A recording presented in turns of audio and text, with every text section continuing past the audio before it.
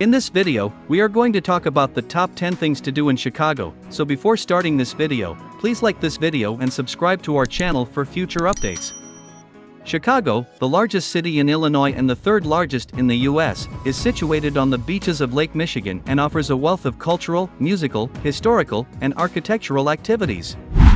People who enjoy culture can take a stroll around Millennium Park and the Loop to admire outdoor artwork, such as the iconic Bean, visit renowned museums like the Art Institute of Chicago, or take a cruise on the Chicago River to view cutting-edge architectural wonders. Purchase a ticket to a baseball game, attend a live performance of blues or jazz, all of which have long histories in Chicago, or enjoy the comedy shows at Second City, where many notable comics began their careers, if you want to get to know the locals.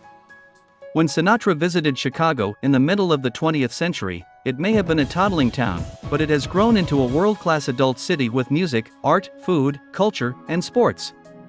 In fact, Chicago has won Condé Nast Traveler's Reader's Choice Awards for Finest Large U.S. City for a number of years running. There are unforgettable things for you to see and do no matter what your interests are.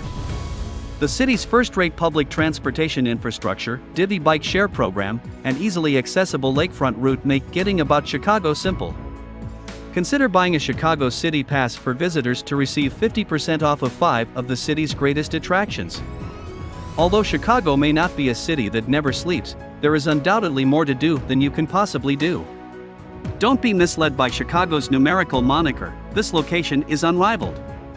In fact, you would quickly run out of fingers if you tried to count how many top-notch attractions and oddities are on display here.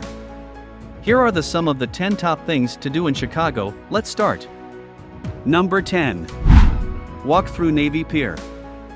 Chicago's Navy Pier, with its recognizable Ferris wheel, stretches out onto Lake Michigan. As you walk the length of the pier, you may take advantage of the many cute boutique stores, delicious restaurants, gardens, temporary exhibitions, and historic sites. It's one of the nicest things to do in Chicago if you want some downtime, it's just over 100 years old. Additionally, the Navy Pier has some fantastic fireworks displays during the summer. Here is a schedule for their fireworks displays. Also, make a reservation at the Three Arts Club Cafe for a delicious and utterly memorable meal. The cuisine is absolutely great, and it's beautiful. Number 9. Chill Millennium Park. The most recognizable and exciting green space in Chicago is Millennium Park, which is situated beside Lake Michigan. The park, which was initially constructed for, you guessed it, the Millennium, serves as the venue for several events that take place all year long. Check the calendar of future concerts and activities if you're visiting, they're typically rather good. Attend one of the concerts held on the Great Lawn and Jay Pritzker Pavilion areas to immerse yourself in some culture.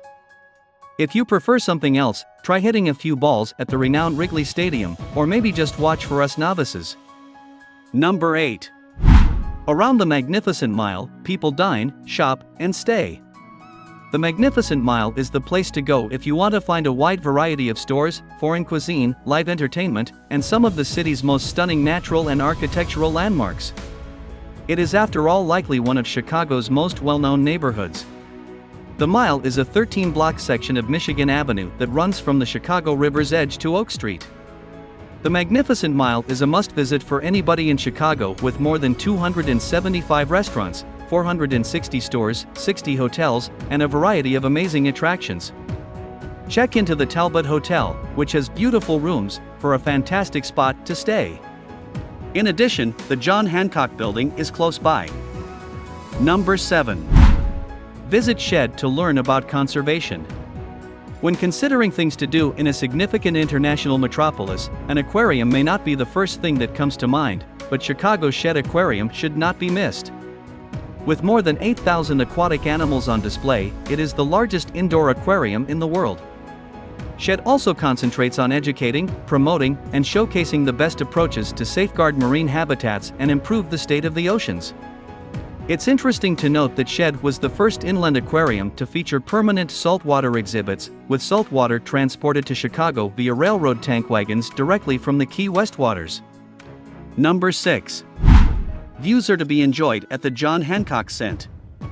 In the heart of Chicago's downtown, on North Michigan Avenue, stands the enormous skyscraper known as the John Hancock Center. The 1,127 foot, 344 meter tall, 100 story building is one of the city's most recognizable skyscrapers, in my opinion. Also, don't forget to visit 360 Chicago, a magnificent observation deck located on the 94th level of the structure, for amazing views of the city, Lake Michigan, and the Magnificent Mile. It's especially wonderful around sunset or when there is very little fog. The viewing area may occasionally be above the clouds. It has magic. Number 5. Zoo at Lincoln Park. This zoo is unique in that it has an ape house, birdhouses, and a working replica of a 5-acre Midwestern farm, to name a few things. The Lincoln Park Zoo, which was established in 1868 and is regarded as the country's first free public zoo, continues to operate all year long with no entrance fees. The zoo welcomes guests with the elegance of Georgian revival buildings and a magnificent greenhouse. It is situated on picturesque park grounds with lush meadows and comfortable walks. Elephants, giraffes, sea lions, gorillas, reptiles, and the red wolf, one of the most endangered canids in the world, are prominent zoo residents. Number 4. Chicago Observatory Deck, 360.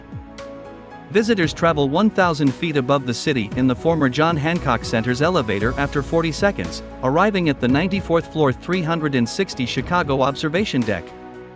On a clear day, vistas from Chicago's third largest structure can be seen for up to 80 miles. There are educational displays available in four different languages. Chicago's highest bar, Bar 94, serves Koval distillery infused drinks and local revolution brews. Alternatively, you might reserve a table in advance for dinner or stop by for a drink at the renowned.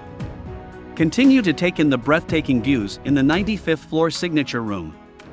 Adventurers should experience Tilt, a unique feature that allows you to stand in a glass box while it tilts over the top of the tower and provides you with views from 1,030 feet above while you do so. Number 3. Astronomy Museum and Planetarium of Adler. Imagine the challenge facing children who learn about space from Pixar. Even rocket experts have trouble visualizing the scale and makeup of the ever expanding universe. The Adler Planetarium and AMP, Astronomy Museum, the first planetarium in the US, takes visitors on a journey of planetary exploration with its more than 35,000 square feet of exhibit space, two full-size planetarium theaters, workshops, camps, and special family activities.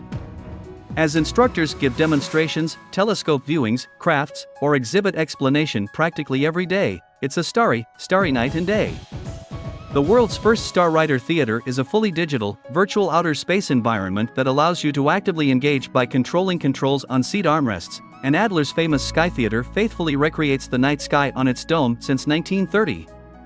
Number 2. Lakefront Trail in Chicago.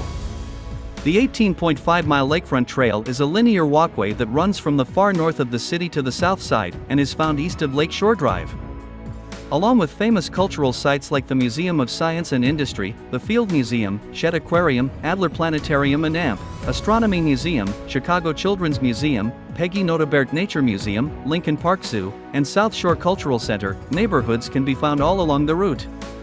The paved path is quite popular with joggers, cyclists, and walkers, and on warm weekends, it can and does get packed, to the tune of 100,000 a day on a sunny summer weekend. One of the busiest areas of the trail is Navy Pier, so be prepared to slow down there. Number 1. River Cruise from the Chicago Architecture Center. Both residents and visitors must view Chicago's architectural marvels from the decks of a river cruise ship. The CAC River Cruise, one of the most enjoyable tours in the city, spends about an hour and a half cruising along the lake's north and south banks visitors will learn about more than 50 structures and their relevance to Chicago's architectural landscape, as well as about the history of the entire city and how it developed from a small outpost in the Midwest to one of the most significant crossroads in the entire globe. In 90 minutes, you'll learn the inside scoop on Chicago's fascinating history and stunning architecture. From late April to mid-November, tours are offered. Remember to buy your tickets in advance because they frequently sell out. That's it for today.